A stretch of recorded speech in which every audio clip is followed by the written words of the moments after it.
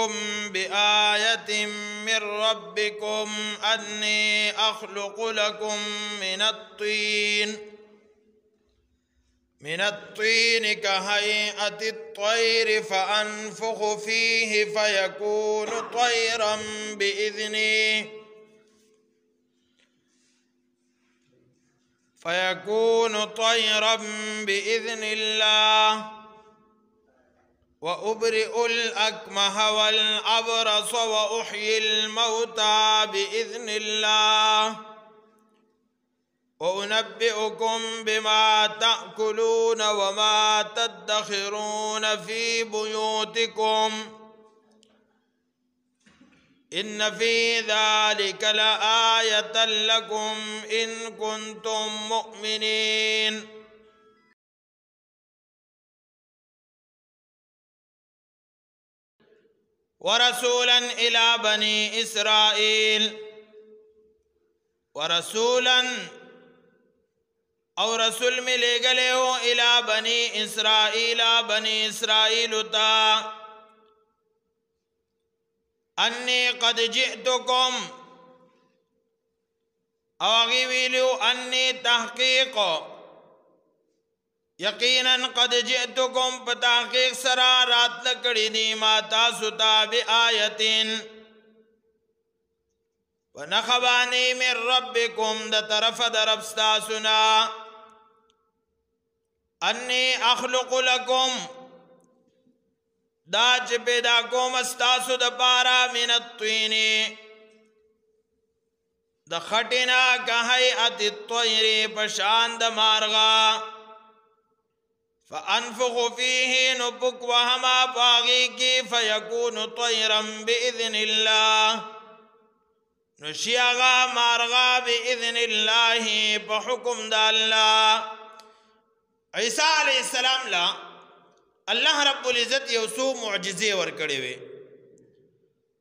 هغه معجزو کې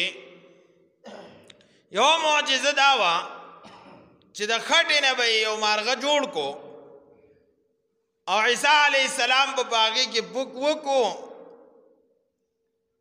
بس باغې کې به روح راغی د الله په حکم باندې بیا مفسرینو لیکل دی دا مارغه به چې کله د خلکو د نظرونو نه پناه شو نو ختم به شو د دې دپاره چې د خالق په پیدایش او دارنګ د مخلوق په پوک باندې په ژوند کېدلو کې فرق راشي دارنګ د عیسی علی السلام په دور کې د طب چرچا غزیات وا الله رب العزت به هر پیغمبر لا هغه وخت مناسب معجزه ورکړه دا دې لپاره چې د هغه وخت ټکنالوژي او د هغه وخت چې کما چرچې هغه چرچه ختمه کی لکه د فرعون په دور کې جادو ډیرو نو موسی علی السلام له الله پاک داسې معجزه ورکړه چې دا غ جادو ا چرچې په خط وکړه دا غي توړې په پیدا کو د قشان عیسی علی السلام په دور کې د طب چرچا اغزیات وا د هر مرض د پاره باغو علاج طلب کاو عیسی علی السلام له الله پاک د لا علاج مرض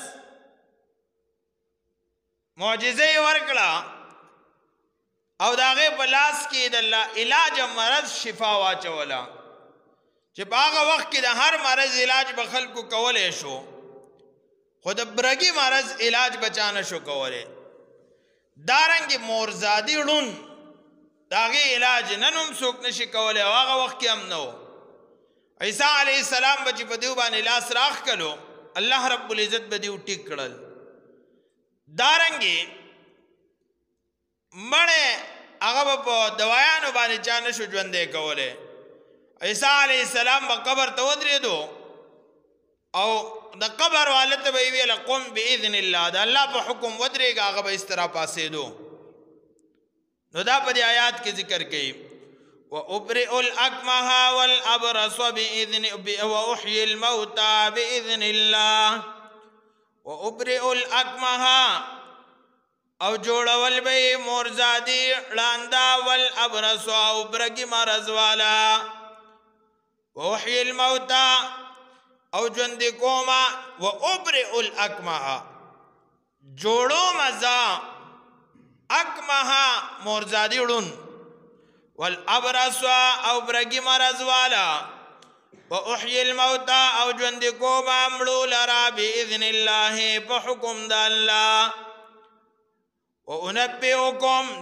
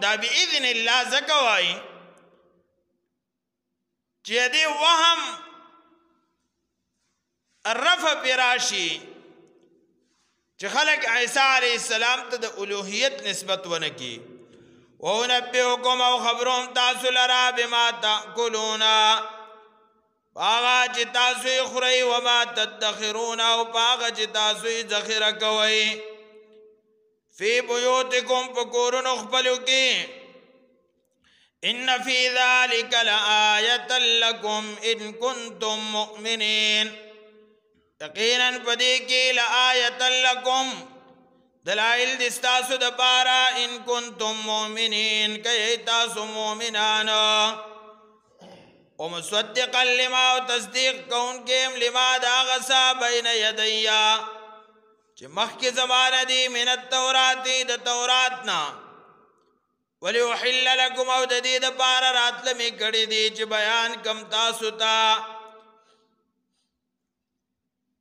حلال سيزونه تاسو بعض هغه حرم علیکم چې حرام کړی شوی او په تاسو ولی احل لکم یعنی حلال کم تاسو د پاره نو حلال خو پیغمبر خو سیز نشي حلال ولی حلال ول خو الله پاک کوي او حرامول هم الله پاک کوي نو معنی دا ولی احل لکم چې بیان کم تاسو ته تا حلال والے ستاسو د بارا د باز هغه سيزونو حرم علیکم چې حرام کړی شوی او پتا سو وجئتکم بآیه من ربکم او راتلمی کړي تاسو ته په معجزو د طرفه د رب تاسو نه فاتقوا الله نو ویریږئ د الله نه واطیعون او زما تابعداري وکړئ دا د عیسی علیه السلام بیان دی اوس عیسی علیه السلام خپل عبدیت او خپل عجز ذکر کوي ان الله ربي وربكم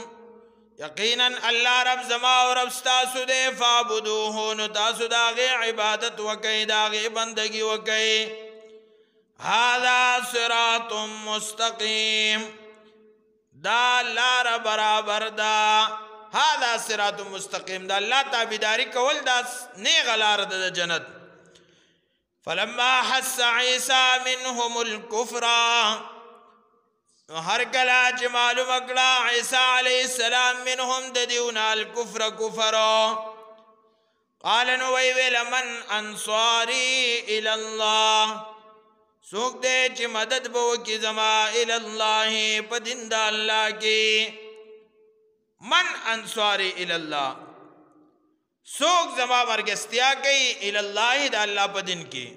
زکا دین بیانول دا آسان کار نه دی دا ډیر یو ګران کار دی وسې څوک دین بیانې د دې به قسم قسم مخالفت د دې سره به قسم قسم بغض او کینه د دې سره به قسم قسم حسد کېدل شي نو دا بغض او حسد او د کینې او دارنګي د دې د هر قسمه دشمنانو سره مقابله کول او په دغه دین کې د دین پر رسولو کې د داعی سره ملګستیا کول داغه مالی او جانی معاونت کول دا ټول د الله د دین په امداد کې راځي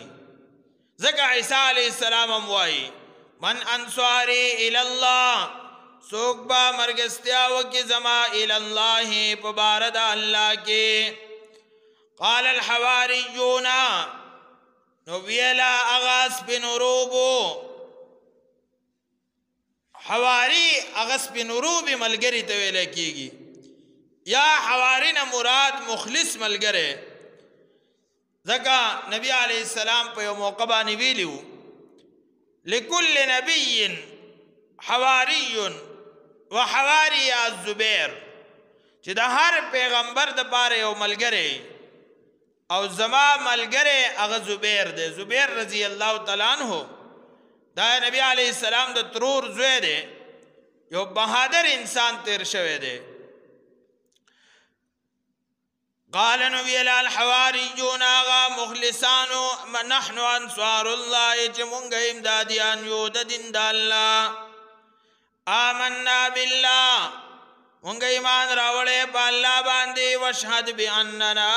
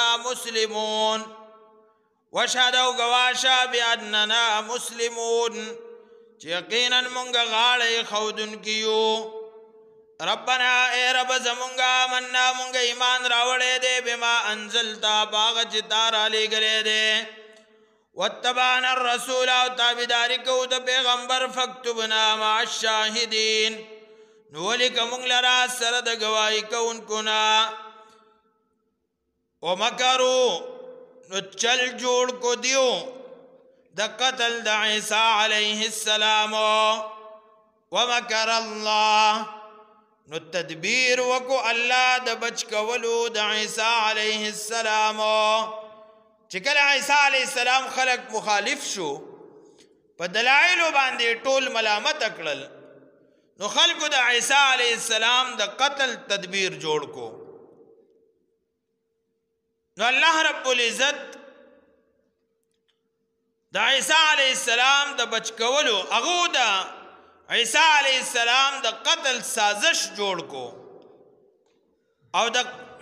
قتل فریب جوړ کو ومکر الله نو الله د عیسی علی السلام د بچ کولو تدبیر جوړ کو مکر نسبت چې کله مخلوق ته وشي هغه په معنی د سازش او د فریب سره او کله چې الله ته وشي نو په معنی د نجات سره وي الله